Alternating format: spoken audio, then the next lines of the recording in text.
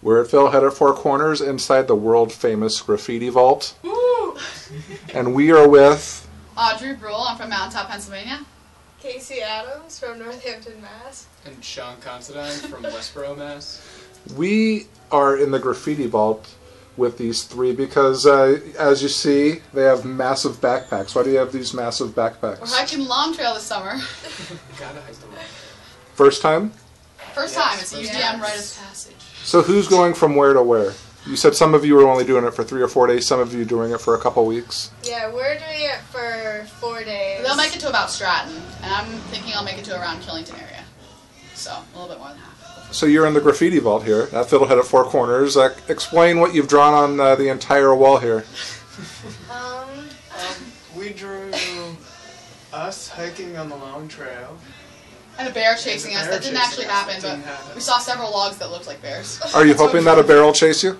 I mean, that might be exciting, so maybe. That'd be something to talk about. Last night we put all of our food away in like a bear safe place, and then we woke up this morning to only realize that we had like food in our bed with us, like a protein bar. So, I mean, it was kind of like.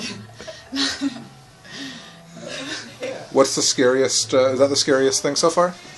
um, the scariest thing is that we hiked 16 and a half miles yesterday, and it was way too far.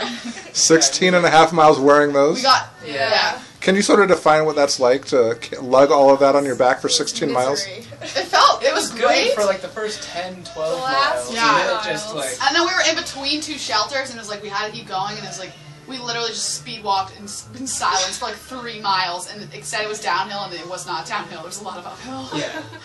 And we got there, and we were just like so glad. So, what's the best thing about hiking, doing the trail? Why do you do it? Uh, probably for the views.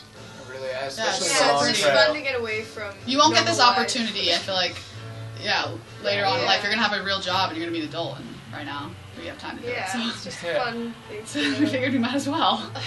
Before real life has to start. Yeah.